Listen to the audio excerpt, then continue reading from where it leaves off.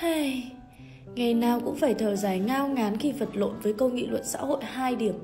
Chỉ có 2 điểm thôi mà cũng là một vấn đề vô cùng đau đầu bởi vì chẳng biết học nghị luận xã hội từ đâu cả. Dẫn chứng thì nhiều, không biết đưa cái nào vào cho hợp lý mà cũng chẳng biết dẫn dắt như thế nào vì đoạn văn nghị luận xã hội yêu cầu chỉ có 200 từ thôi. Không biết làm thế nào bây giờ đây?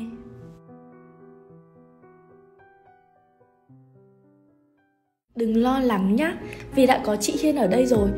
Chị sắp sửa ra mắt một khóa học nghị luận xã hội hoàn toàn mới dành cho các bạn 2K2 ở trong năm nay.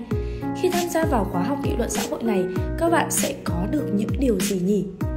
Chúng ta sẽ có một phương pháp hoàn toàn khoa học và rõ ràng để có thể phân chia thời gian một cách phù hợp khi các bạn viết đoạn văn hoặc là bài văn nghị luận xã hội chúng ta sẽ có một kho dẫn chứng khổng lồ và định hướng về việc sử dụng dẫn chứng như thế nào cho hợp lý nữa đấy.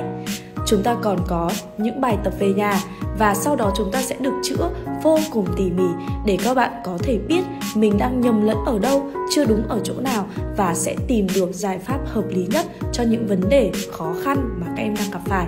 Chúng ta còn có thi thử và chúng ta sẽ được biết trình độ của mình như thế nào qua hai lần thi thử đầu vào và đầu ra của khóa học này nữa.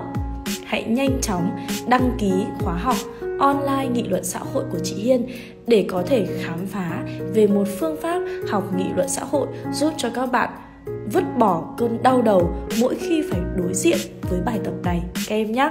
Và chị hy vọng rằng sẽ được gặp các bạn sớm nhất ở trong khóa học này. Chúng ta sẽ nhận được sự hỗ trợ vô cùng nhiệt tình từ team chị Hiên nữa đấy. Hẹn gặp lại các bạn ở trong khóa học nghị luận xã hội sắp tới của chị Hiên. Bye bye!